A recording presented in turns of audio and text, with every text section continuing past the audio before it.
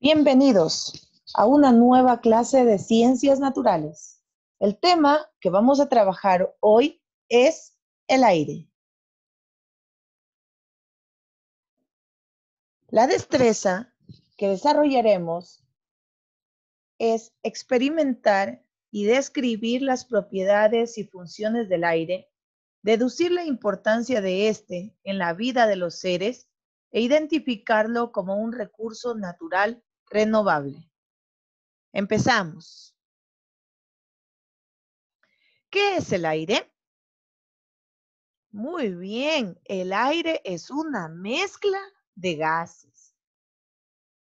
¿Qué tipo de mezcla es el aire? Correcto, mis amores. Es un tipo de mezcla homogénea. ¿Y por qué homogénea? Excelente, porque no se puede identificar a simple vista sus componentes. Pero, ¿recuerdan cómo estaba formado el aire? ¿Cómo estaba compuesto el aire? Excelente. El aire está compuesto por 78% de nitrógeno, 21% de oxígeno y 1% de otros gases. Recuerden que esos otros gases son argón, eh, dióxido de carbono, helio, vapor de agua y muchos otros más. ¿Qué pasa si este 1% aumentaría y los demás disminuyeran? Muy bien, estamos hablando de un gas contaminado. Perfecto, seguimos. ¿Cuáles son las propiedades del aire? Aquí tenemos algunas propiedades del aire. Vamos a trabajar en ellas. Transporta ondas sonoras. Como pueden observar en esta imagen, los sonidos son llevados a través de las ondas sonoras gracias al aire, al viento, y llegan a nuestros oídos. No se ve ni se toca, pero está en todas partes. Esta propiedad se refiere es que es incoloro, inodoro e insípido. Pero tú cómo sientes la presencia del aire? ¿Sí? A través del viento, cuando viene y sopla tu cara, ¿no es cierto? Ahí sientes la presencia del viento. Tiene peso. Como puedes observar en, en esta imagen, hay un globo deshinchado y un globo hinchado mira hacia qué parte tiene mayor peso, hacia qué parte se lleva más, ¿sí? Como puedes observar aquí, justamente en donde está el globo con aire, ¿sí? Mueve las cosas. Por ejemplo, mis amores, cuando la mamita les, les envía a tender la ropa, ¿sí? Y no hay sol, pero hay aire, entonces el aire les ayuda a que se seque la ropita porque mueve, ¿no es cierto? O cuando ustedes van caminando y les mueve el cabello, ¿no es cierto? Ese elástico puede comprimirse o dilatarse.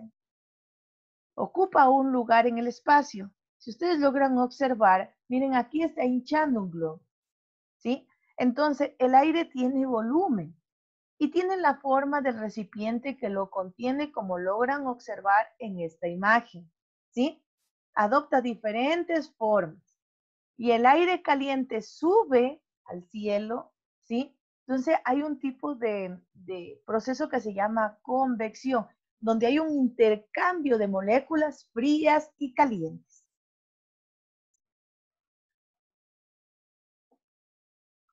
¿Qué tiene esta botella?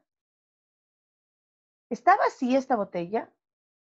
Muy bien no está vacía la botella. esta botella tiene aire. ¿Y cómo podemos comprobar que esta botella tiene aire?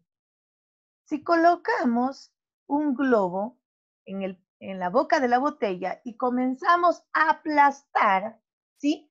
Este globo se nos va a hinchar porque nos va a demostrar la presencia del aire, que por más que no vemos nada en la botella, tiene aire, porque el aire no se ve.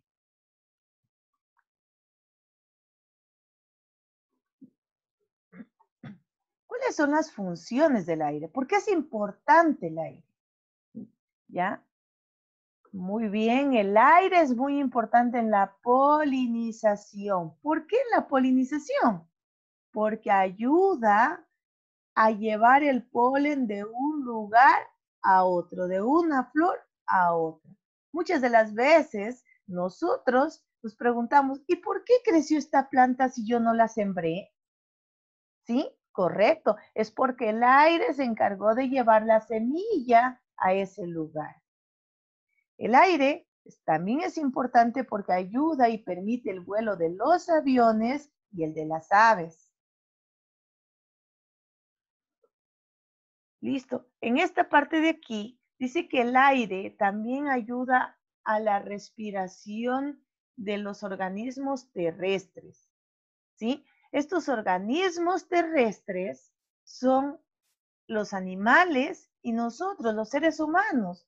¿Por qué? porque tomamos el aire que se encuentra, ¿no es cierto? Lo llevamos al oxígeno dentro y eliminamos el dióxido de carbono. Este dióxido de carbono es muy importante para qué? Para que las plantas realicen el proceso de la fotosíntesis. Recuerden que ellas purifican el aire y nos regresan a nosotros el oxígeno para la respiración. En esta imagen de aquí podemos observar también sobre los organismos acuáticos. Recuerden que muchos de los organismos acuáticos, su, forma de respirar son las branquias. Muy bien, perfecto. Entonces, aquí ellos toman el oxígeno que se encuentra disuelto en el agua. ¿Sí? ¿Cómo veo yo la presencia? Ellos mediante un proceso que se llama eh, aireación, ¿sí? donde se forman las burbujitas, ¿no es cierto? Ese proceso se llama aireación. ¿Cómo puedes observar todo ese proceso? ¿Has ido a aquellos lugares donde tienen cría de tilapias, cría de truchas? ¿Sí? ¿Has observado que hay una eh, como cascada que llega y golpea el agua? Porque ahí se está produciendo el proceso de la aireación. Ahí lo puedes notar, mis amores. Necesitamos conocer bien estos dos conceptos. ¿Qué es el aire? Recuerden, al inicio dijimos que el aire es una mezcla de gases que se encuentra en dónde? En la troposfera, una capa de la atmósfera. Además, necesitamos saber sobre la contaminación. Recuerda que la contaminación es cuando introducimos sustancias dañinas y que provocan que ese aire no sea apto para nuestro consumo, para el consumo de los animales, ¿sí? ¿Y cómo se da ese aire contaminado? Por la actividad del ser humano, por las fábricas, por la emanación de gases eh, procedentes de la quema de combustibles de los vehículos, por la tala de árboles, por echar basura a los ríos, por todo eso se da la contaminación. Tenemos que tener bastante cuidado con esto. ¿sí? ¿Cuáles son los contaminantes del aire? Perfecto. Hay contaminantes naturales y contaminantes artificiales. ¿Pero a qué se refieren los contaminantes naturales? Muy bien, aquellos que se producen espontáneamente en la naturaleza.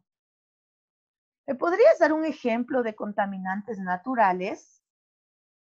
Muy bien, una erupción volcánica, correcto, porque emana gran cantidad de cenizas, ¿no es cierto? Y estos por la acción del viento son llevados a diferentes lugares. Además, por los rayos intensos que llegan al planeta Tierra, ¿no es cierto? Eh, los rayos intensos provocan que se produzcan incendios forestales, pero naturales. Bien, correcto. Seguimos. Los contaminantes artificiales, ¿a qué se refiere? ¿Por qué se producen? Correcto, mis amores, por la acción del ser humano, por la actividad del ser humano. Por ejemplo, la quema de llantas, ¿no es cierto? Esta quema de llantas provoca una gran cantidad de gases dañinos para el ser humano. La han visto ustedes, sobre todo en las huelgas, ¿verdad? Correcto. La quema de basura, en fin, ¿no es cierto? La actividad de las diferentes fábricas, ¿sí? Tenemos que tener bastante cuidado con estos contaminantes del aire, ¿sí? Seguimos, mis amores. El, el aire es un recurso renovable, es un recurso limpio, permanente, ¿no es cierto? ¿Y qué es, y, qué es el aire? ¿Sí? El aire, para que sea un recurso eh, renovable, tiene que tener movimiento. Y este aire en movimiento es el viento. Y el viento permite el movimiento de los aerogeneradores y nos producen energía limpia, como por ejemplo en los eólicos en nuestra ciudad. Pero no solamente para generar energía eléctrica. Les comento que también para el agua. ¿sí? Para almacenar agua. Por ejemplo, ustedes pueden observar aquí cómo la energía del viento actúa como una bomba y almacena el agua. Bien, aquí también nosotros tenemos para producir o para eh, moler granos. Si logran observar aquí, estas aspas están conectadas a una rueda y el movimiento hace que se mueva esta rueda. Aquí tenemos eh, donde cargamos los granos, ya sea de maíz, de trigo, de cebada, de lo que tengan. Entonces, este grano es cargado aquí, ¿sí? Y al moverse las aspas, van moviendo la rueda y se van moliendo los granos. Recuerden, es más o menos cuando ustedes les ayudan a hacer, eh, a moler, ¿sí? Eh, para las humitas de la, de la mamita, ¿no es cierto? ¿Qué utilizan? ¿Qué fuerza utilizan? Excelente, la fuerza de ustedes, la fuerza, ¿no es cierto? Ayudan a moler ese, eh, con la manivela, ¿no es cierto? En este caso, no utilizan su fuerza. ¿Qué fuerza utilizan? El viento, muy bien, correcto, el viento, ¿ya? Recordemos, niños, que el aire, las propiedades son incolora, inodora, insípida, tiene peso, tiene volumen, ¿no es cierto? Recuerden que el aire es muy importante en los ecosistemas terrestres, como por ejemplo en los seres humanos y en los animales y en los ecosistemas acuáticos mediante un proceso que se llama aireación. El aire se contamina por la acción humana y por la acción natural. El aire está compuesto por gases, que son nitrógeno, oxígeno y otros gases. Y el aire es un recurso renovable porque es limpio y permanente. Recuerden, mis amores, cuidar y proteger del medio ambiente. Te espero para una nueva clase. Que tengas un lindo día.